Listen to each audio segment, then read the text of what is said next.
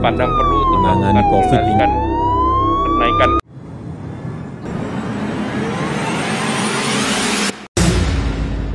Saya tidak habis pikir apa yang sedang terjadi sebenarnya pada pemerintahan kita termasuk semua stakeholder yang ada terkait mengenai PSBB lagi yang akan dilaksanakan khususnya di daerah Jawa dan Bali tepatnya tanggal 11 Lihat Januari beberapa hal yang perlu 2020 dilakukan. sampai kemudian 14 hari ke depan. Masalahnya ini PSBB dilaksanakan setelah kemudian orang libur panjang. Kenapa tidak dari awal? Kenapa tidak dari awal sebelum orang tahun baru kemudian PSBB? Jangan sampai muncul banyak korban seperti ini baru kemudian pemerintah wah kita sepertinya harus PSBB. Sehingga kemudian berapa kali lagi kita bahkan sudah bosan mendengarkan kata PSBB PSBB terus.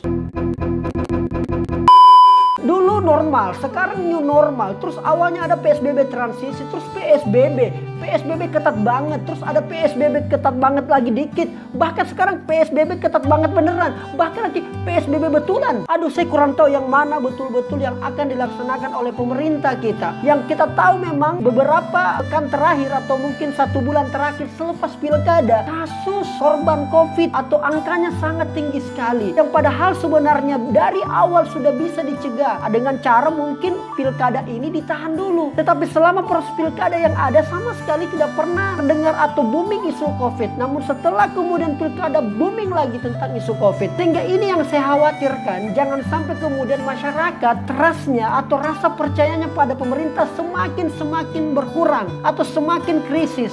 Karena yang paling penting ketika masyarakat sudah tidak percaya lagi pada pemerintahnya, saya kira itu adalah tantangan yang terberat. Kebijakan sebaik apa pun, kebijakan sekeren apa pun, ketika tidak ada lagi kepercayaan, saya yakin dan percaya bahwa pemerintah akan sulit berjalan dengan baik. Walaupun sebenarnya pemerintah punya power yang sangat kuat untuk kemudian menertibkan masyarakat. Karena apa yang disampaikan atau apa yang diumumkan oleh pemerintah dalam berita CNBC, pengumuman pemerintah resmi perketat PSBB di Jawa dan Bali. Oh, kenapa tidak dari kemarin? Bahkan sebenarnya ada juga yang menyarankan untuk lockdown. Oh, sudah disarankan sejak awal bahwa lockdown sejak pertama kali virus COVID masuk di Indonesia. Tapi entah kenapa pemerintah sepertinya kurang begitu mendengar banyaknya saran dan masukan. Akhirnya apa? Menurut Menkes yang baru di berita CNN Indonesia, dia mengatakan Menkes soal PSBB Jawa Bali, nakes sudah letih tangani pandemi. Iya, Memang sudah letih, sangat-sangat letih dari awal. Kenapa kebijakan selalu berubah bahkan dianggap ngawur oleh sebagian masyarakat dan berbagai asosiasi yang ada. Bahkan ada di berita yang dimuat oleh saya lihatnya di Instagram di indozone.id karena ada wacana lockdown. Indonesia dinilai sudah telat jika ingin terapkan lockdown. Ketua Tim Mitigasi Pengurus Besar Ikatan Dokter Indonesia IDI, Adib Humaydi menilai kebijakan lockdown sudah terlambat jika pemerintah Indonesia ingin menerapkannya saat ini. Teman-temanku sekalian, nice people, kalau kita melihat memang apa yang sedang terjadi, COVID ini rasa-rasanya walaupun kemudian vaksin sudah ada dan sudah tiba, pandemi ini rasa-rasanya tidak akan pernah berakhir kalau bagi saya. Bukan saya pesimis, tapi kalau pola kebijakan cara kita semuanya sangat memiliki perbedaan atau ingin menonjol sendiri, saya itu sangat sulit. Kenapa saya katakan ini sangat mendasar? Ketika kemudian DKI Jakarta yang ingin pertama kali lockdown bahkan itu sangat ditentang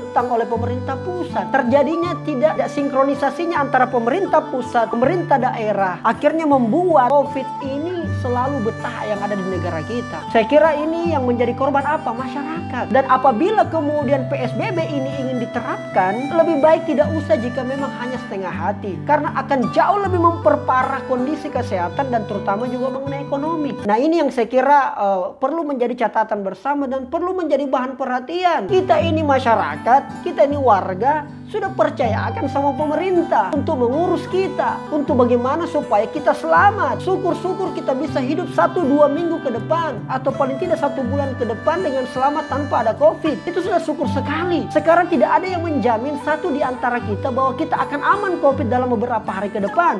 Ini yang kemudian menjadi catatan penting. Bagi saya yang paling penting cuma ada dua hal.